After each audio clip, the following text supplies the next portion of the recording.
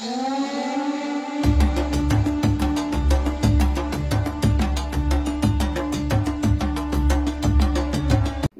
back to Dare to Call Him Friend.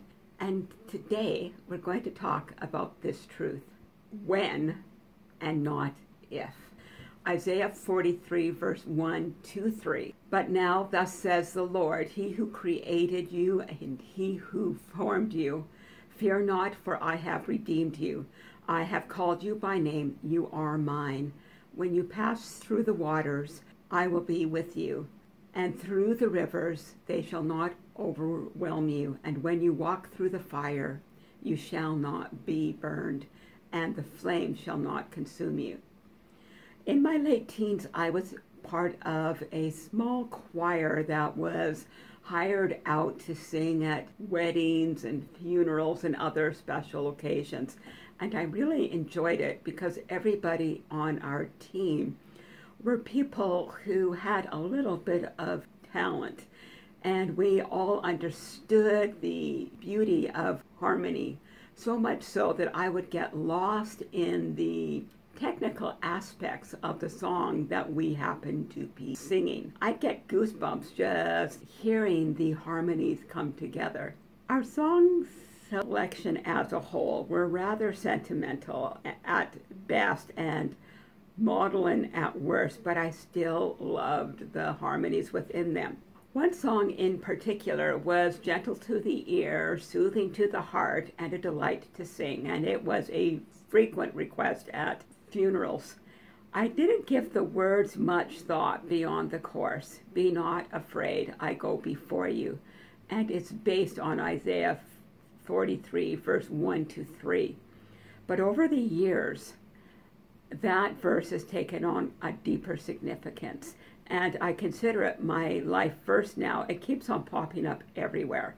When I'm about to face a trial or when I'm in the middle of it, this verse pops out of nowhere. Somebody will send me a card with the verse on it. Somebody will say, hey, you know, I was praying for you and this verse came to mind. You know, if you've been around walking with the Lord for a while, you know what I mean. But while I find comfort and hope in the verse, I appreciate its honesty. You see, it says when and not if when you pass through the waters, when you go through the rivers, when you walk through the fire. God gave me fair warning to expect trials to come along my path. I would face trials that would threaten to sweep me away like a tsunami.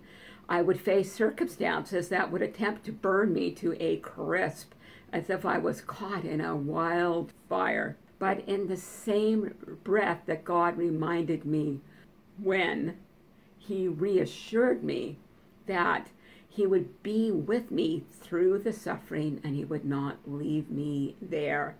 He would carry me through to the other side. God has and always will remain faithful to His word even when my doubts and fears have threatened to drown me as I thrash blindly against my Redeemer, He still carries me to the other side. When fiery circumstances threaten to take my breath away, He hides me in the shelter of His wings, and He carries me in those wings through to the other side. I look at this verse and I look back at my life, and we've talked about a lot of the things that I've gone through in this book. And when I look back and I remember the confusion and the fear and the trauma, the disappointment, the discouragement, the feelings of betrayal that I have felt over the years, and we've talked about a lot of those things as we've gone through this book, and we've still got a little bit more in the book. But when I look back at the way that God has carried me through, even when I was completely overwhelmed and I thought my circumstances were going to do me in, I can see now He carried me through to the other side. I encourage you to do the same thing. Take that verse and go through and write two or three times for each section of that verse where God came through for you when you thought there was absolutely no way out and you were completely overwhelmed. Why am I asking you to do this? Because the Bible says when and not if, and there will be circumstances in our future that will be difficult, but we do not need to fear them or worry that God will not come through for us because we can stand on the testimony of our faith of what God has done for us already.